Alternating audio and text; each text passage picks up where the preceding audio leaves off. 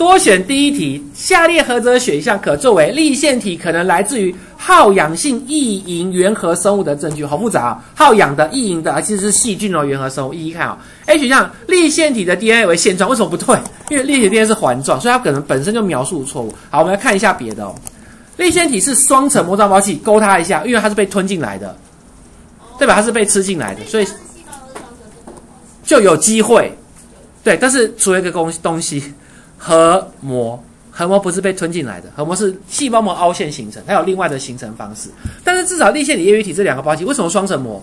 代表它以前是被吞进来的，外膜是实泡膜，内膜是它原的细胞膜，所以它是一个证据可以支持。然后呢，资源项哦，我的电子存链需要氧气参与，诶，所以代表我是耗氧性啊，所以也符合题目。这个细菌是耗氧性的哈。立腺体具有核糖体，而且核糖体跟正核生物的核糖体不一样，代表它有自己的核糖体。它的核糖体是原核生物的核糖体，就支持了它来自于原核生物。好，就一一一一来比对。好，做一个它自己没有立腺体，对，因为它没有膜状包器，因为它是原核生物。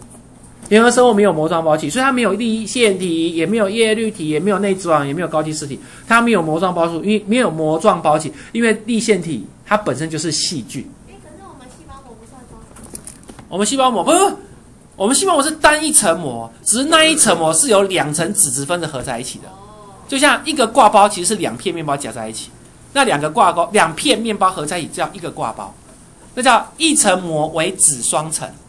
脂双层构成一层膜，哦，这是层次的问题。脂双层是分子层次，膜是整个包气结构，就是膜结构。